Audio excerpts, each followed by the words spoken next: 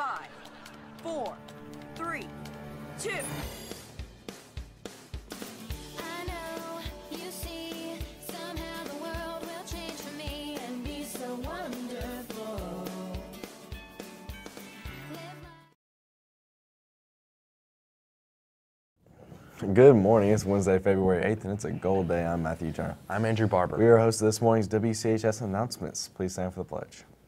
I pledge allegiance to the flag of the United States of America and to the republic for which it stands, one nation, under God, indivisible, with liberty and justice for all. Please sit for a moment of silence.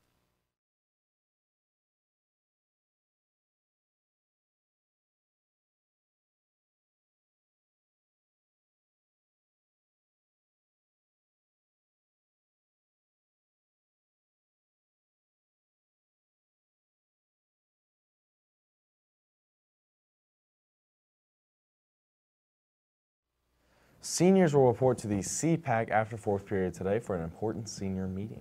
Coming to Calhoun, America's Oh. Got Talent finalists, illusionists David and Jenny. They will be doing two shows on March 15th. The first show will be during fifth period. Tickets can be purchased from your homeroom teacher after the winter break. Mm. Tickets are five bucks, and you must have a ticket to watch the show. The second show will be at 6 p.m. on March 15th. This show is open to the public. More info is coming later about how to buy tickets for the show. Students, if you're interested in taking dual enrollment classes for 2018-2019 year but have not registered for courses, the deadline is February 13th. In order to register for applicable dual enrollment courses, you must have qualifying test scores on the SAT, ACT, or AccuPlacer. Check to see if you have a qualifying score or if you need to sign up to take the AccuPlacer, you should see Dr. Hayes or Miss Hawkins in the Media College and Career Center. Deadline is February 13th.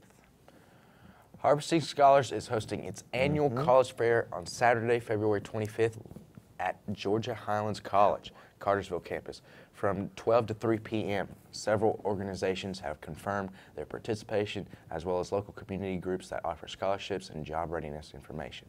Pre-registration is encouraged and can be completed at www.harvestingscholars.org. And now we're going to go over to Miss Parker for a special announcement that she wanted to deliver in person this morning. Take it away, Miss Parker.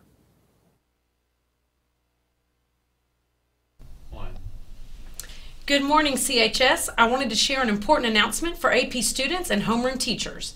AP test forms have been collected and exam prices have been calculated.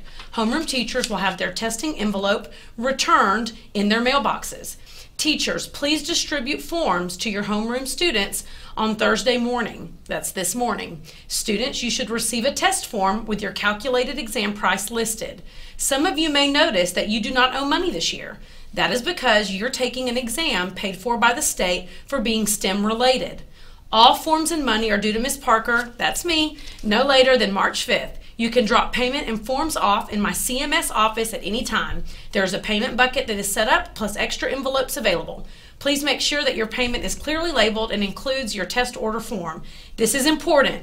Even if you do not owe money this year, you must still turn your test order form back in so that you are officially signed up for testing. Only students who return their form and or money will be eligible to test. Please make sure that you have signed up for my AP Reminds. Please direct any questions or concerns my way, and any student who did not receive a test order form back this morning should see me for an additional form. Thanks and have a great day. Thank you, Miss Parker. Some good information right there. In the senior section of the announcement, seniors will report to the CPAC after fourth period today for an important senior meeting, like I said before. Blood Assurance is awarding 10 $1,500 scholarships this year. We have extended the deadline to submit applications to February 15th. Information about this and other scholarships is also posted on the CHS website. Hmm.